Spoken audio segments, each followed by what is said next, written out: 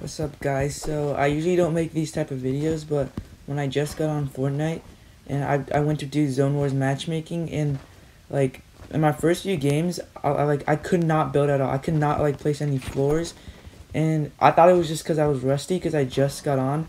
But then I went into like creative and started like building and I was like I couldn't do anything. So then then I went on YouTube and a bunch of people were making videos about it and so the new update actually changed building and it made a delay to place like floors or ramps or pyramids.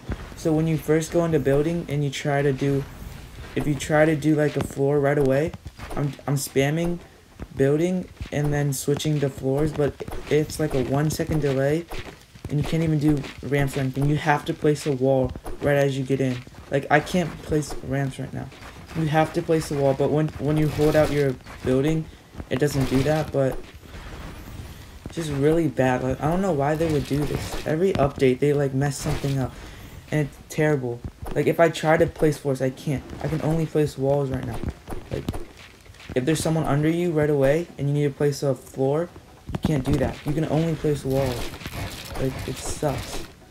But, I found out a way how to fix it, because I'm pretty sure Epic's gonna patch this, but like it might take them a few days so here's a one way to fix this. So you go into your HUD layout and then I already have them here but you take your extra building things and then you make them the same size as your inventory slots.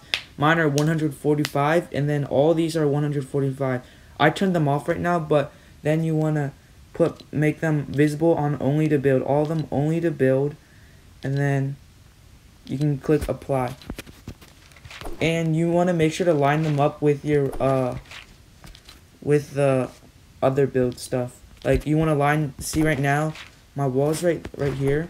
I want to go in and then line it up with the wall. You might you're not gonna get it the first try but you can just keep on trying to line it up and then you'll get it perfect. And then now you can now you can switch your builds when you pull out your building menu now. So it's not that weird. So now if there's like someone under me and then I and they're about to like shoot me, I can quickly place a floor. And it won't just put a wall. So yeah. That helps a lot. So if I helped you, uh, make sure to drop a like, use code FLIX, and drop a sub if you're new. I just got on, so my building's really rusty. But yeah. Alright, I'll see you guys.